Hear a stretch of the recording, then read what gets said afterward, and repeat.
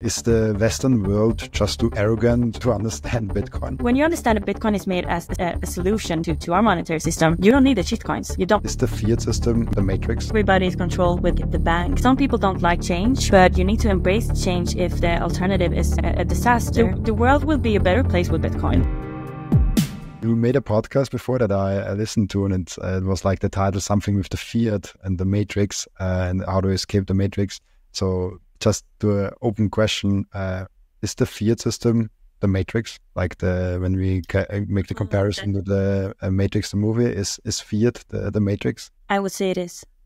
I would say it is. Like every, every everybody's stuck in the Matrix and the fiat system, and mm. like as soon as you start looking at, in like Bitcoin, like you, you start to find your way out. Mm. It's so so cool. Like when you when you start to realize that, and you can draw that that connection between like matrix and and our fiat world. How deep are you still in the matrix?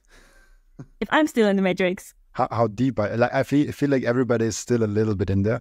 Like everybody has some some some toes, some some shoes in the matrix. Uh, even I use daily the euro.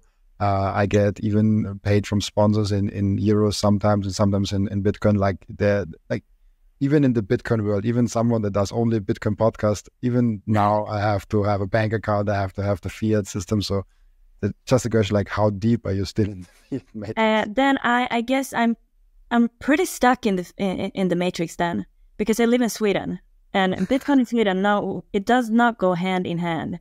So yeah, I, am pretty deep stuck in, in the matrix, unfortunately.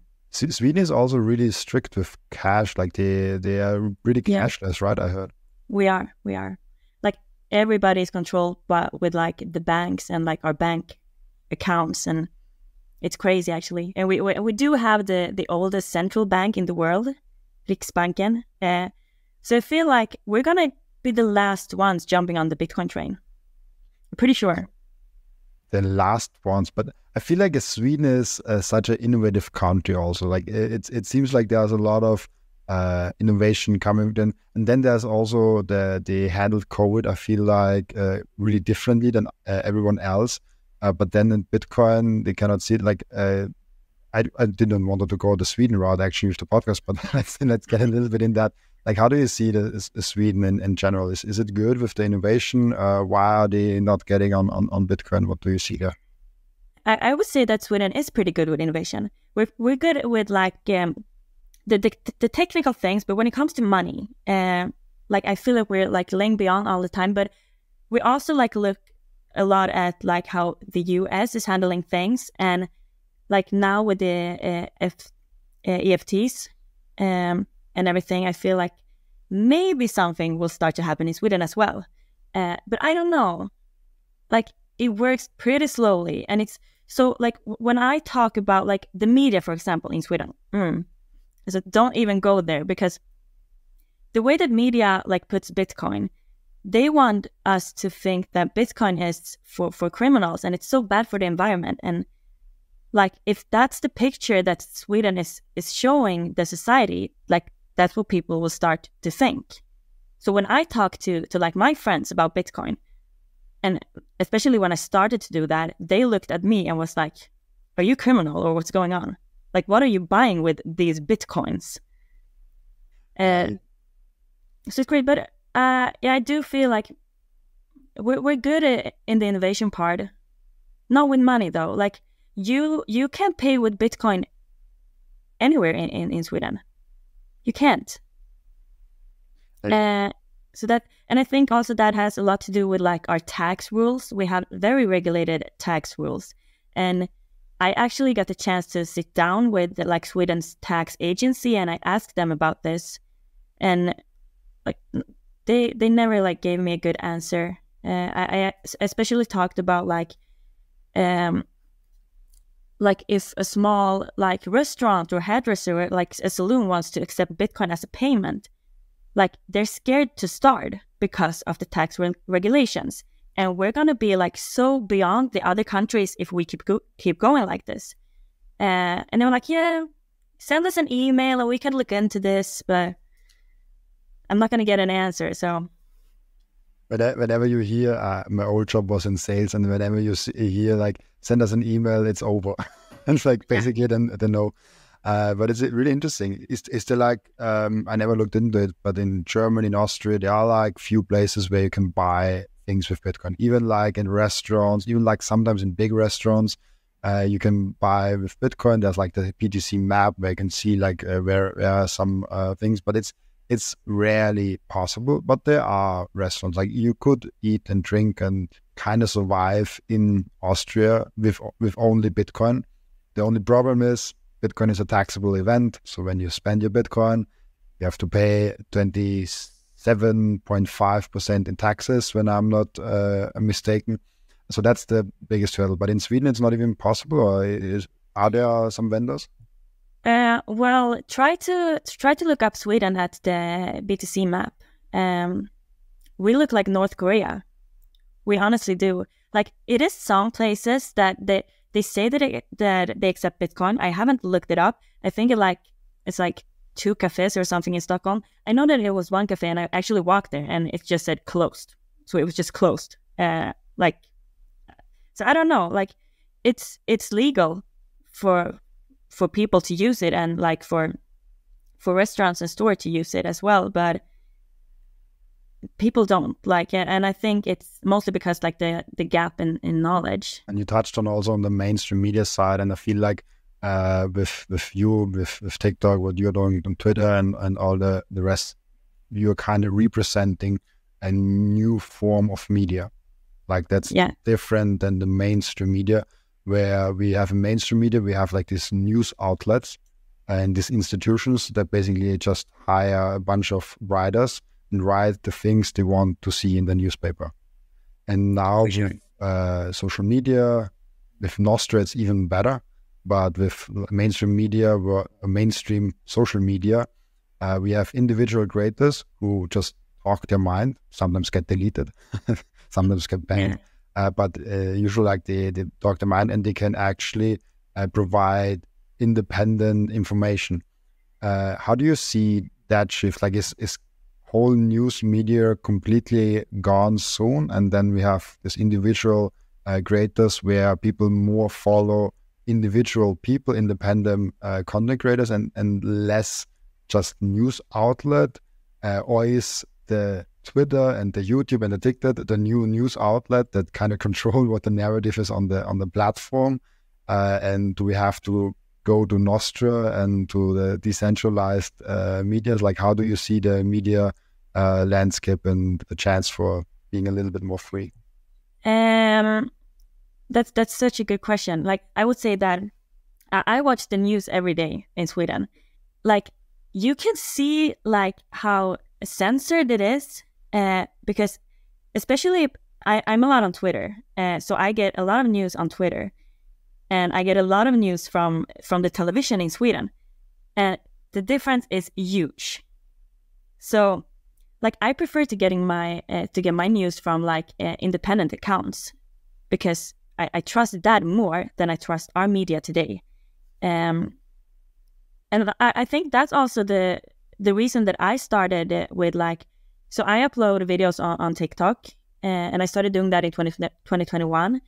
And that was especially because I saw, like, I was talking to like my friends uh, when I when I found my way to Bitcoin, and uh, I started talking to them about Bitcoin, and like I when I saw like how how huge this knowledge gap is, I was like, okay, who's gonna educate these people? Because the media will not. And my friends, they like they don't even use Twitter; they use Instagram and maybe TikTok, but they don't go on Twitter and and like get a knowledge of Bitcoin. So I was like, okay, somebody somebody needs to fill this gap, and that somebody, well, that had to be me. So like I prefer, I really prefer um like independent uh, media. I think, but you should be like aware of what you listen to, of course. Always uh, be critic to everything. How, how is it to create content on Twitter, uh, TikTok especially because I also do my podcast, my shorts. I distribute them just everywhere. So also on TikTok, and um, like every like two or three weeks, I reinstall my TikTok app and see what comments I, I got. And usually it's pretty, pretty uh, bad from the comments that I get, like really uh, big knowledge gap. In YouTube and Twitter, it's kind of mixed. There are also like uh, people that are really educated and have really nice impacts, uh, like insights in the Bitcoin community. But there are also there's well like there's a huge disconnect between uh, what they know about Bitcoin and what they think they know about Bitcoin. Uh, how do you like? Is it just because I have a new account there and and and not a lot of Bitcoiners found there, or is it general TikTok? Mm, I would say, like, indeed. First of all, uh, it's it feels like I'm in two different communities because I now now I upload everything that I everything that I upload on on TikTok. I also upload on Twitter, and the feedback that I got that I get from Twitter, it's so much better than the feedback I get on on TikTok and I feel like uh, on TikTok, we reach the people that don't know anything about Bitcoin. Uh, and like I get a lot of more questions questions there and also like um, a lot a lot more conversations. Like not now because I don't know if something happened to my algorithm, so the videos aren't aren't working that good. Uh, but like people starts uh, debating in my in my comments about Bitcoin, and I'm not even in there. Like talk talk about like how Bitcoin is bad for the environment and everything, and then somebody else comes in and they start arguing in my in my comments. Uh, but TikTok, it's more like for for I would say like especially for me for like the people that don't know anything about Bitcoin. And when I upload something on Twitter, it's everybody is so supportive for for everything. Uh, but when when I started to upload videos on on TikTok, I like I got pretty good feedback and I got a lot of views. So I don't know uh, how it is for you. Yeah, it, it's. Uh, I had a previous, like, there's a few things going on because I had a previous TikTok account uh, where I got like three and a half, three and a half thousand uh, followers, and then they were German and they were stock investors, and mm-hmm. then I left that account for like two, three years, and now I just push Bitcoin English content on there, and I think the algorithms just does not know what to do with it. Uh, and uh, I like get the some uh, followers and I lose some followers uh, every day. So like I'm like kind of stuck in the same thing. But I really also don't care too much uh, about TikTok. Should should I be more on TikTok? Is is should should we uh, should we put more importance on on TikTok? Do you see is it is it important to be on TikTok as Bitcoiner? Um, like I would say that we reach out to to like other people on, on TikTok. We, we we reach out to the younger generation, like my generation, and like we need the knowledge that we share on Twitter today. But I don't know how it is in like Australia, for example. But my friends are not on Twitter, so if I want to share my knowledge with them and like with with my generation, then I need to be on, on TikTok because they don't use Twitter. Um. So, but but it's hard. Like for for example, I uploaded so many videos. And just last week, I got on my account and I watched through it. And it was so many videos that has been deleted. Because I, I, I think I think that TikTok is, if I understood it correctly, they they had some like uh, kind of the co- collaboration with Universal Music or something like that. So they deleted so much music, and when they deleted the music, my videos disappeared. Uh, and I don't know. It's this rumor also that uh, TikTok is about to get banned or something in, in the US. I'm not that invested in, in that. I like Twitter more now, so yeah. Uh, take, take take TikTok off my shoulder. That would feel great. yeah, it's it's a fascinating platform. Uh, as as I said, like I'm I'm rarely on there. I'm just checking uh, if if some video went viral. Never never happened, but I'm always checking like every second week. But it's interesting. But now let's get to, into my actual questions that I have for you. This was kind of a sidetrack. uh, I wanted to start actually with why are you BTC chick and not crypto chick or something like that? Ah, uh, okay. So I got that's a good question because because I got into um, to Bitcoin from the economic way. So I started to to study international political economy in 2021 like uh, when, when I when I started to, to to study that, I guess that you already know that like the the education in like universities they're very focused on Keynesianism. So like that's what typically uh, taught in, in, the university. So I think that this e- economic journey actually led me to a broader understanding of, uh, and eventually like the world of Bitcoin and its uh, implications. So uh, I'm a I'm a person that's always like I always ask myself why. So I I feel like it was the inflation part that dragged me into Bitcoin. So let's say, for example, Riksbanken, it's Sweden's central bank, and as I've already told you, the, the oldest bank, uh, the central bank in the world. So they consider a 2% inflation rate as normal, right? That's what keeps uh, the economy moving. And like I accepted this. The, I, I was uh, taught this in, in the university and I accepted it. Uh, but like I couldn't let that go. So I was like, okay, it makes sense, but somehow I couldn't shake it off. I was like, okay, 2% inflation. Why 2%? But also the statement that 2% inflation is normal. Like, honestly, how can inflation be normal? Is there such a thing as normal inflation? So I, I honestly began researching like the 2% inflation thing. And like at first time, this seemed to make sense because I didn't know any better. But then uh, I talked about this in, in, the other podcast as well. I, I stumbled up uh, on on inf- because uh, I was googling this uh, and I stumbled on uh, up on uh, inflation in Venezuela, and I came across this photo. I guess you've seen it. It's um, of chicken and money. Have you seen that? Uh, no, chicken and money. Oh, you have to Google it. Just if, if you just Google inflation in Venezuela, you will get a picture of uh, a chicken and cash, and the cash weighs more than the chicken. And I was like, I, I read this article about Venezuela experiencing 80,000 percent inflation.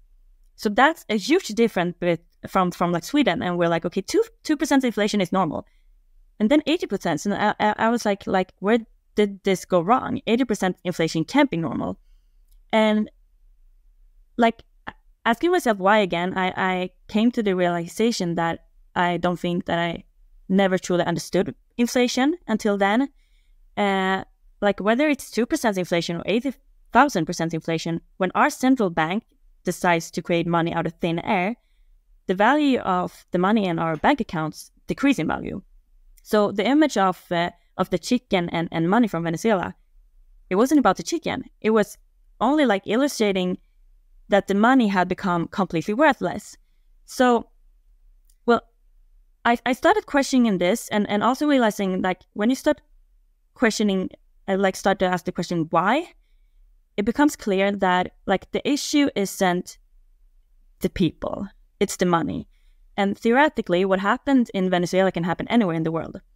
So I guess I was like, okay, Keynes, can you explain this to me? And he like he couldn't explain that to me. So I I had to like start searching for for other answers myself, and uh, and I think like I especially remember, like my dad, he's uh, very into tech, so he had some knowledge about Bitcoin, and I was sitting at home uh, after one day school, and I was just bragging about inflation, and he was like, "Oh, maybe you should look into Bitcoin." And I was like, "Hmm, what are you saying now?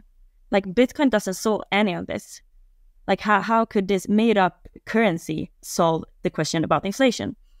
Uh, but then I started to like look Bitcoin up and and and like getting my like education on, on Bitcoin, and I realized that wow, like this is like this solves this. It actually does. Um, so I actually I jumped over the shit coins. I never fell in that hole. It was just from when you come from the like the economic sphere, it was just a jump to Bitcoin, like straight. So I guess that's it. And also like Bitcoin is the only the, the only uh, cryptocurrency that's made as an as a solution to like our monetary system that is falling apart. And like uh, I had this um, um oh, I don't know how to put it in English, but like for me, I, I think it's pretty clear that you don't understand um, the solution of of anything if you don't understand the problem.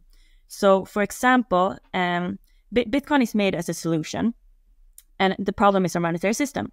So, for example, you won't understand the solution of uh, of a vacuum cleaner if you don't understand that you don't want a dirty floor. So, like if someone put a va- vacuum cleaner in front of you, you would just be looking at it. You would be like, okay, what do I do with this? I don't know. And the same goes with Bitcoin. Like if somebody puts Bitcoin in front of you, you will be like, what do I do with this? I, I don't know. And so when, when you understand that Bitcoin is made as a, a solution to, to our monetary system, you don't need the shitcoins. You don't. So that that's BTC chick and not crypto chick. I love it. And the one thing that just popped up in my mind when you said uh, you have to understand the problem and to understand the solution, I feel like in the Western world, Sweden, Austria, all the America even, um, inflation is there. Inflation is a problem, but I feel like it's not a big enough problem for people to really grasp that that is a problem. Like people still think yeah, there's war, there was COVID, we have a little bit inflation now, it will be good in one, two years. Like I feel like that's the the, the mainstream narrative around inflation. Ah, it will be better and we're coming down with inflation. Uh, prices are not rising dramatically as we hear from Venezuela and stuff like that. Uh, is the Western world just too arrogant uh, to, to understand Bitcoin? I think so, and and especially like uh, the younger generation. Like I, I represent generation that's way too comfortable because everything works out like way too good for us. Where like I usually say that a blip with with my Visa and Mastercard that seems to solve like most of my problems. And like my, my generation, we know that there's an inflation going on, but we don't truly understand what inflation really means. And we understand that like the world is somehow corrupt, but we don't see how corrupt it is. And so, so yeah, for sure for sure. Is that then, when we look in the broader scale, and a massive chance for all the developing countries? Uh, I think you even wrote uh, a paper with with the university about the Bitcoin role in developing countries. If I'm I'm not not not mistaken. Yeah, I did. Uh, that's amazing. Uh, I, I, did not have the chance till now to to read it uh, carefully. I just like overlooked it a little bit uh, with the two things you wrote, like I think about BRICS and about uh, the role, Bitcoin role in developing countries. I think the story was also cool uh, because you had to convince your professor to actually write about Bitcoin, and you had to write about BRICS first. How, how was how was that going? Like I found like that story in my studies. It's so interesting because uh, uh imagine like yeah, wait, I just had to. Sorry. Uh, ima- imagine like yeah, so uh, imagine that, um, like, I study international political economy. This should be people that are like so aware and up to date with eco- economy. And so my, my, my studies right now, they're actually on hold at the moment. Uh, I'm, I'm, my goal is to complete them, but I'm taking a double bachelor in criminology and international political economy. But both of them are mainly focused on Bitcoin. So I wanted to write my first uh, thesis. It's called B thesis. It's the one you write before your bachelor. And I wanted to write that about Bitcoin. But my professor, he said that it was too abstract. Uh, he was like, okay, but this is a, a, quite short paper. Bitcoin is very abstract, so no, it, you you shouldn't write about that. And like for me, I was like, okay, maybe, maybe it is too abstract to write in a in a B paper. But instead, he was like, okay, you can write about BRICS. So I jumped into BRICS and like if anyone if anything is more complicated than Bitcoin, and I don't think that Bitcoin is that complicated, like when you start to dig into it, but if something is way more complicated than Bitcoin, it's BRICS So but but but anyway, my my final note in, in that thesis was like the BRICS goal is to reduce the whole the dollar hegemony. And like my final note was that maybe we can achieve that in other ways, like a little hint. And then for my bachelor thesis, I I finally got to write about Bitcoin, but that was after a lot of con- consideration. So, uh, like I asked my my advisor if I could write about Bitcoin, and he was like, mm, "No, like I, I, don't know, it's not that much of, of research about that. It, it would be very hard for you." And I was like, what, what do you mean not not not enough research? We have we have a lot of research. Um and and honestly, like how will we ever have enough research if no one ever starts re- research, researching? So uh, but but he said no first. Uh, and then I like I wrote down I think it was three pages uh, about like from well-founded resources about Bitcoin's role in developing countries.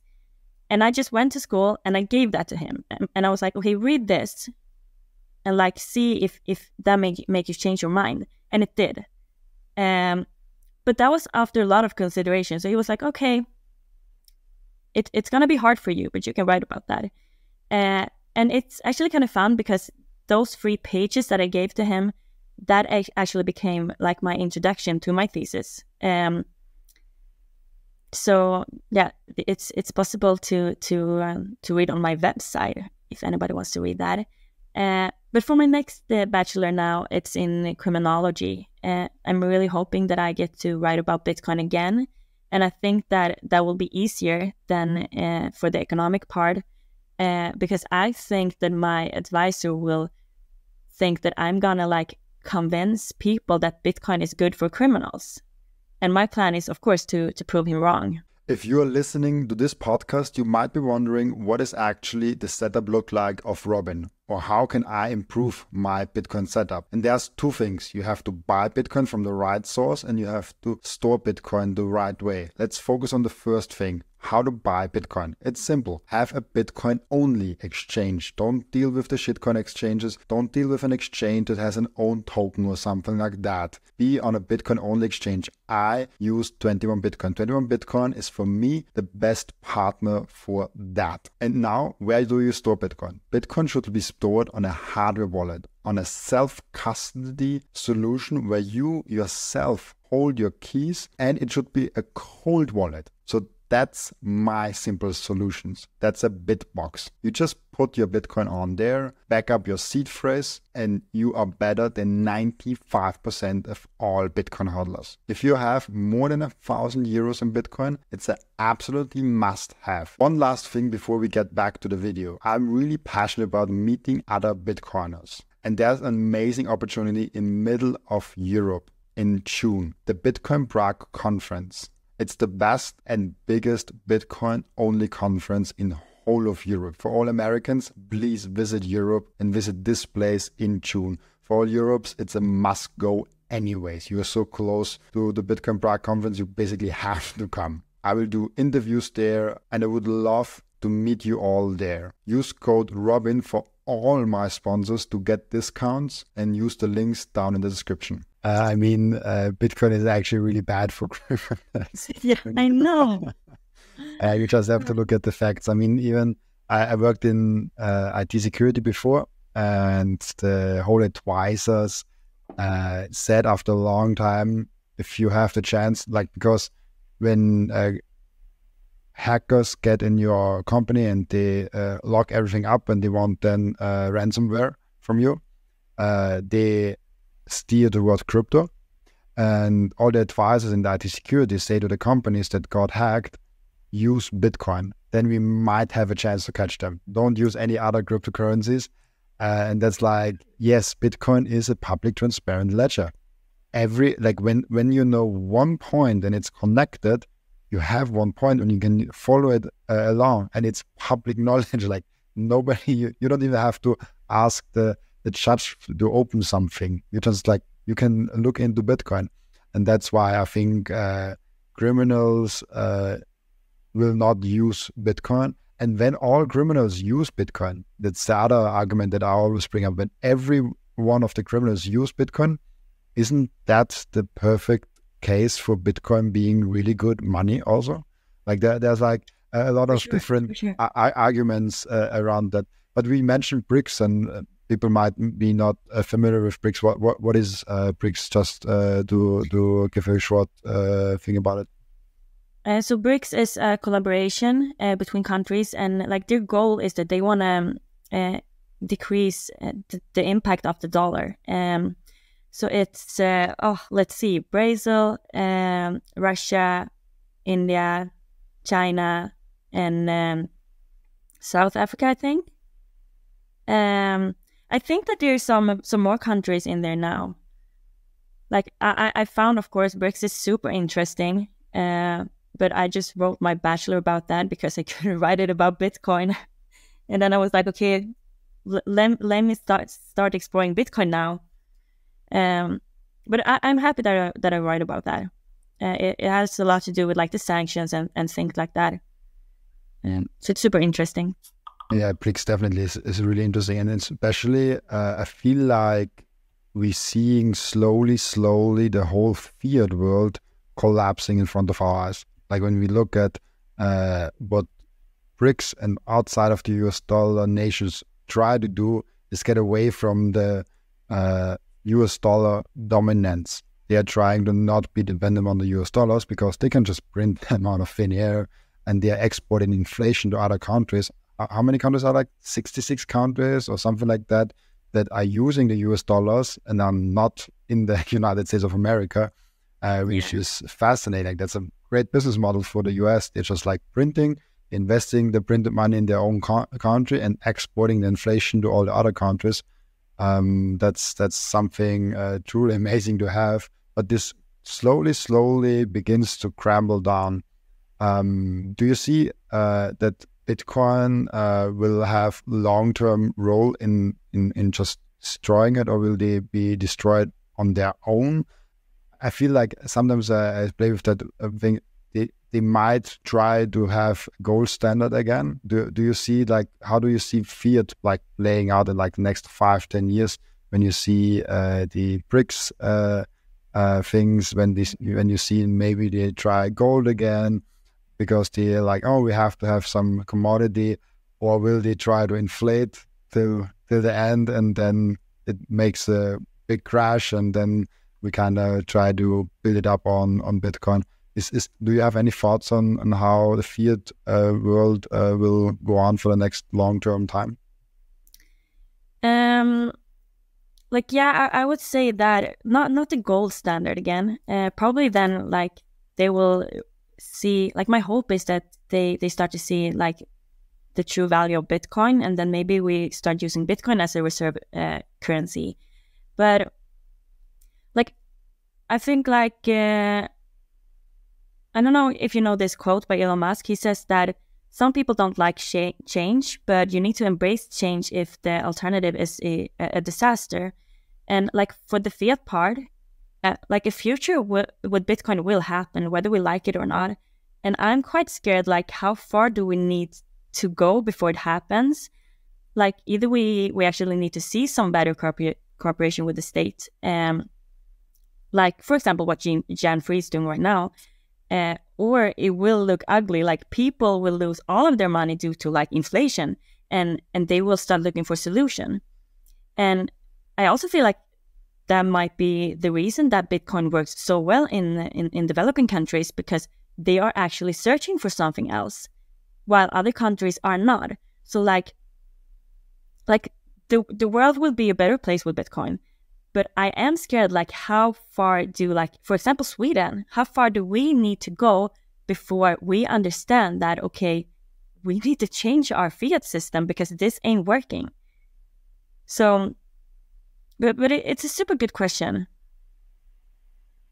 Yeah, and especially like how the interesting question is also how far are they willing to go to keep that fiat system running? Like, yeah, uh, how how how far down the the monitoring uh, monitoring lane, the surveillance lane, will they go to try to keep that system in, in place? I mean, CBDCs are the, the next thing. I guess Sweden is on the role of CBDC. Like they are even like now having a little bit more and more CBDCs when there's no cash, then it's everything digital. They have a, a way better system if uh, rolling out a CBDC? Do do you feel like Sweden and the euro and uh, the ECB will have like a CBDC in, in no time, or how? Do, are you afraid of CBDCs? Uh, of what? Uh, CBDCs. No, I, I don't know. Like honestly, with the euro and everything, we have our our, our own uh, our own currency in, in in Sweden. We have SEK.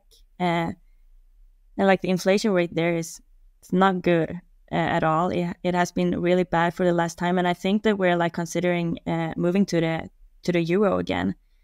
Um, but I don't know. I haven't thought that much about that, honestly. Oh, nice. It, it's it's it's fascinating to, to, to see the the CBDCs playing out. And when I talk with Bitcoiners from Africa, they're like not yeah. concerned at all. When I talk with Bitcoiners from uh, EU countries, they're really concerned about uh, CBDCs. It's uh, definitely worth uh, looking into uh, into that. Um, what I'm wonder, wondering, besides like Bitcoin and all the f- things that we already touched in the in the in the podcast, is there anything that you are really passionate about that we did not cover uh, till now? Uh, yeah.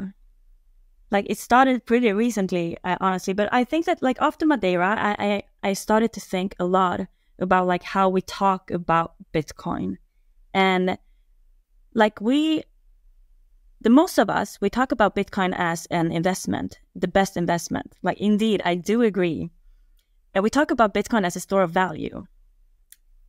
But I feel like we often like we skip the most important part, like a store of value. Okay. But what is value? Like I feel like we we miss that um a lot of times. And like let me put put it like this. Um so imagine a world where all the people suddenly disappears. And they've been replaced by by new new individuals who lack previous knowledge. So like these individuals that just come into the world, they would lack basic communication skills and, and knowledge about the world. So here, value is compared to basic survival instincts. And like I find, for example, the, the ancient Egypt very interesting because the pharaohs, they saw this. They really saw this. And like the pharaohs was the, the ultimate defender uh, of the knowledge for the good of the society. So the society he val- they valued the the pharaohs better than than he valued himself even though like he did like rituals and and and, things that were so extremes. But in those time people lived in direct contact with with value. I, i'm going to give an example like so the, the pharaohs think about this like the knowledge was so important that he, he realized that okay my people were so hungry and we have like I found eight berries. But which can we eat? I need eight people to sacrifice their lives for this knowledge. And and people did that because they thought that okay, I'm sacrificing my life now. I might die because I might get poisoned. But the knowledge is more important than my life because I'm doing this for the people. So in this aspect, the, the value is instead directly linked to knowledge. Uh, and people like we perceive value differently. Another example is like, let's say a, a young girl uh, in in my, in my age maybe, and she works daily in a mine, risking her life for survival every day. So for her, value means something some, something different uh, uh, th- th- than it does for me. Like I I would never risk my life just to survive the day. So here, value is directly linked to survival. And the same could be applied, like, for example, to let's say you have a daughter and she's been kidnapped. And and like if the kidnappers say that, okay, you need to pay us one million to get her back, would you do that? Probably. Yeah, probably. but I think that you would never try to reduce that price. You would be like, uh, is it okay if I pay half the price? You wouldn't do that because in this aspect, value has nothing to do with money. Like it will it will feel so wrong for you if you will be like, mm, can, can I like put down the price a bit?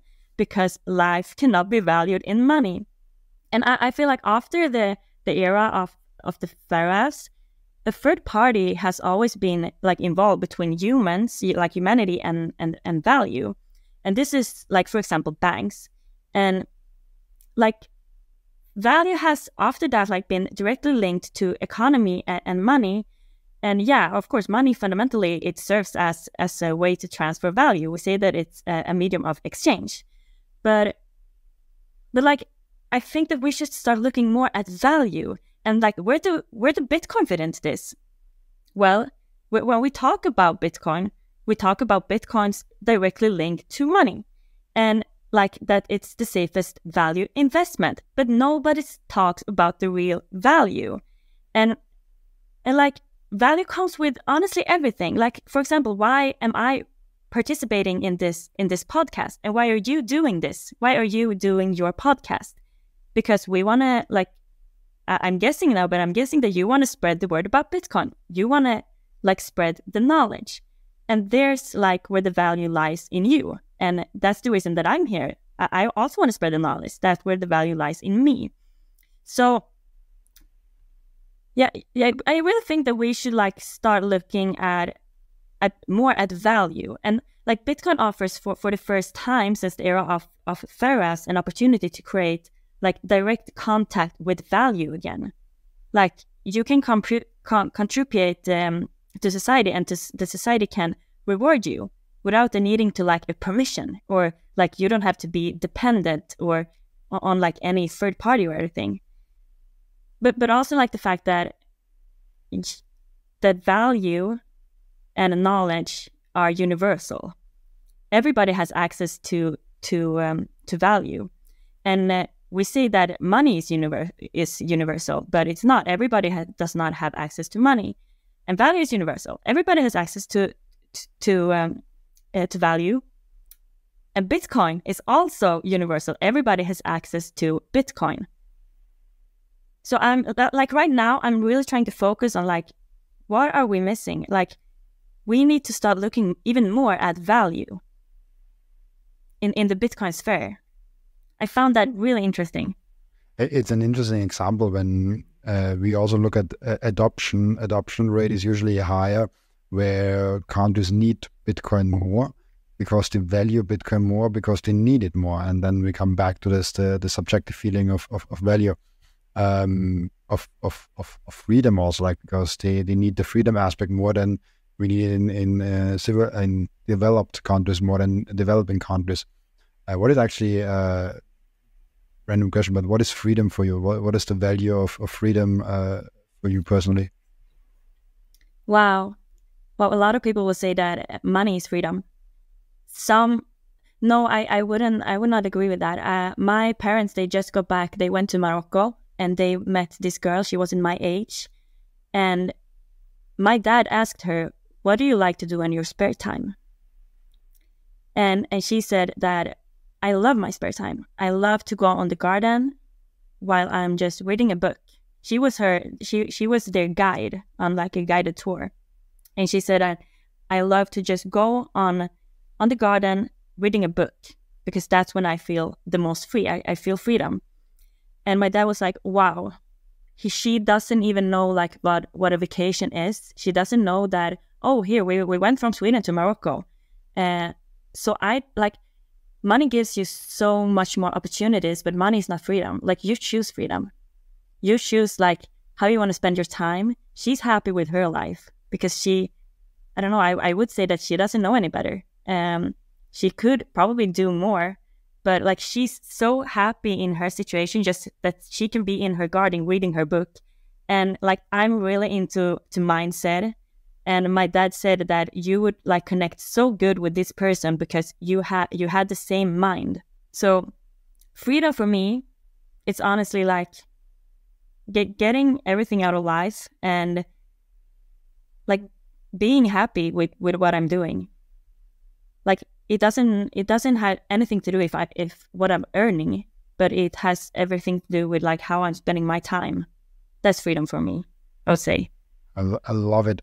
And I also, um, when I encounter younger people in my family, uh, when they're like questioning a little bit, oh, what they should do, because at 14, 15, you kind of have to like decide what do you want to do in life, like this or that, uh, or like this question comes up, like for every person, people can also question that uh, when they are 50 or 45 or like, like 35 or something like that. And what I always like to ask is like, what would you do if someone paid for everything? Like, what would you do every day when you don't have to pay for wood, when you don't have to pay for your living situation, when you don't have to pay for anything? Everything is paid for for yourself. Um, what would you do then with your time? And this is where freedom comes in. And the, the most amazing and beautiful definition of freedom is like you have the choice what you do. Like uh, when you can choose um, to say to everything, to anyone, and to uh, anything yes and no. Like you can choose what you do. You Yeah. like crazy example, but uh, if if I decide like, oh, I want to have a coffee in America in the next two hours, it's really hard for me to do because I have to fly for a, a long time. It takes a it's a lot a lot of money to have such a spontaneous uh, flight and stuff like that. But if you have total freedom uh, uh, of of yourself and money and everything, then you can actually decide, oh yes, uh, let's let's fly to Miami. It's a six-hour flight, but let's have a coffee there. Uh, so um, th- this is basically freedom, and of course, it's a lot connected to money because uh, money is like the the base layer of everything. Every transaction has has money involved somehow, uh, even if it's not visible directly. Uh, but that that's that's really cool. Uh, a, a question because you mentioned mindset. That mindset is really important for you. Like, what's the what's the most important trait that you can have in a mindset that you're really passionate about? Is there anything that you're like this you have to have in your character traits in your mindset uh, that uh, that is important for yourself? Uh, wow, choose happiness. See, uh, see the see the the beautiful thing in in everything. Like, I, I can find myself in situations where I that are like really difficult and really hard, and somehow I found the beauty in that. Like, I can see that. For example, if you're at school, and imagine that you're like buying a coffee, and you're you spill everything out, like on all on all of you. You're like you're walking in the university with coffee all over you, and you bought this coffee, and it just been a eh, been a disaster.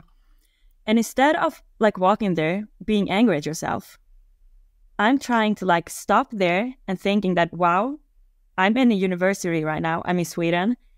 I get to wear clothes. I just bought a coffee that I spilled over me. I can buy a new coffee. Like th- th- there we go with money again. but yeah, like that mindset. Like be thankful for every little thing.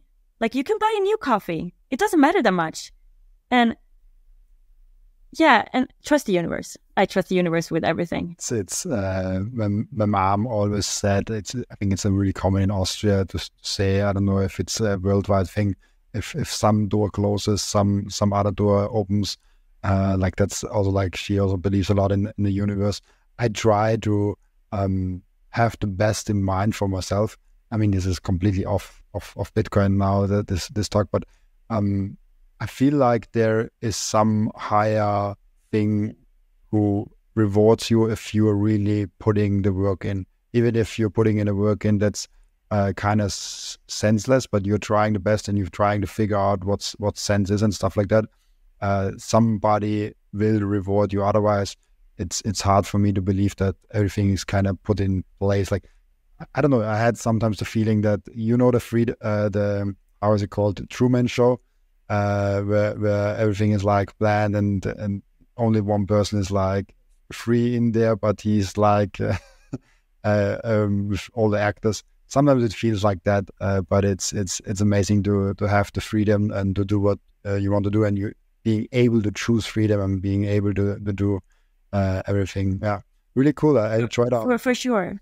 Like just to fill that in, I got a question just before jumping into this podcast. Um, my dad said, "Are you nervous?" And I said, "No," because I trust universe. Like if if I like screw this up and say something stupid, I trust universe that much that okay, then something better is coming for me. So, like I trust trust universe with everything. Yeah, de- definitely. It's it's it's you you have to trust in the in the process of stuff. Uh, Yeah. And uh, I I did not knew that I even have uh, a a podcast like just in November last year, and now I have one. And I looked, I think, three days ago in in my analytics, and I got this crazy uh, statistics. Uh, almost twenty thousand people watch me just on YouTube every week, which is like what Wow. what. and monthly it's like, incredible. in, in monthly it's like 100,000 people and, and I'm like I just started this out because I wanted to connect with more uh, Bitcoiners and all of a sudden people watch me and people are, are willing to pay for sponsorships people are willing uh, to, to pay me even uh, channel memberships uh, for like monthly for things they get for free. Honestly, also, uh, it's it's just amazing for me, and I'm I'm really thankful. And I've, I feel like uh, you have to really work hard, and then you get rewarded somehow, and you have you have a little chance to to alter things, uh, but uh, some things just are, are meant for you.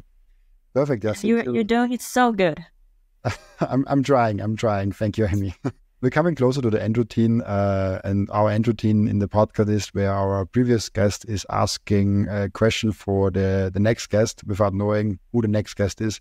And uh, the question is a really interesting one.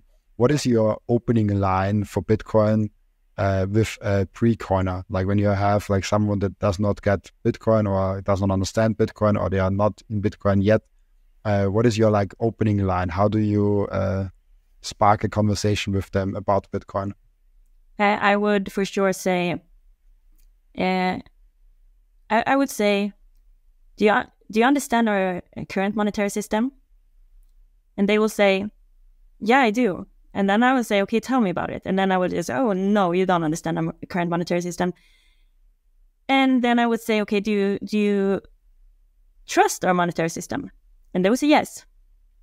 And then I will say, okay, do you know that you don't even have to trust Bitcoin? You can verify Bitcoin. You don't even have to trust that Bitcoin works. You can see that it works. Same goes with, for example, your phone, your cell phone. Do you like, do you use your phone? Yeah, yeah, everybody uses their phone today. Do you understand what's happened, like what's happening beyond that screen when you're using it? No, you don't, but it works, right? So you don't have to understand everything about Bitcoin. Like I would on I think I would start there and then like start digging into to the problem with our current monetary system and just make them understand that you use our current monetary system without even understanding it. Try Bitcoin. Yeah, it's it's, it's amazing. And when I uh, tell them, oh, but uh, it's so complicated to understand Bitcoin and stuff like that, I'm like, first of all, not everybody has to understand Bitcoin because uh, you send WhatsApp messages every day and you understand when this second uh, tick is coming that the other one got it. Yeah. But can you actually explain what's happening there technically? I feel like maybe 1% of the population can because they learned it in, in IT in school or something like that. Or not not even 1%, probably like 0.1% can actually explain uh, what the TCP, proto- uh, TCP IP protocol is and how this all works uh, in, in, in shape. And I studied IT and I cannot fully explain it honestly. it's, it's way complicated it's way more complicated than that. Um, and that's it's, it's really important to to make them question their belief. Uh, and uh, you can you can even choose to go with a, a, a, really hard question in, in the in the in, in this in this conversation with like, do you think inflation is theft?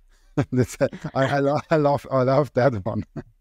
but like my friends would answer, "What is inflation?" Yeah, it's it's uh, what, what, most people don't understand this. Uh, what what is inflation? What, what, how do you define uh, inflation actually? Um, I would say that every time, like how how if I'm if I'm we're about to um, explain inflation to a dummy, I would say that um, do you know that you have money in your bank account? Yeah, I do. Okay, do you know that our central bank they print money every day. So the burger that you bought for five years ago, it cost 75 Swedish crowns. And now you pay 100 for that. Have you ever thought of that? Uh, and I would probably say that every time like the central bank print money, the, the money that you stored in your bank account loses value. I would just try to keep it like as simple as possible. That's that's amazing and uh, very very true. And uh, I feel like we have to challenge the things because most people still believe that 2% inflation is good. We touched on it a little bit, uh, and uh, I, am really outrageous sometimes when people are like, yeah, but we need inflation for the economy to grow. Why? Why do we need a central authority to steal our purchasing power to have some progress? I think we humans are better than that. Yeah, you can get the economy moving in other ways. Uh, definitely, you, you, can just be productive for, for one. Uh, perfect. And thank you, uh, Ammy. Thank you, uh, BTC Chick, uh, for for being on. Uh, and it was a pleasure having you. It was a pleasure talking with you. Um, for people that want to know more about you, people that have questions, uh, what, what from what you're saying, and want to get in touch with you, where can people reach you in the best way? I would say right now on either on Twitter or on my website. I'm really bad at, at going through like uh, TikTok requests and things like that. But on Twitter, my handle is bt underline chick, and my website is www.btcchick.com. Uh, perfect. And thank you for being on. Thank you so much for having me.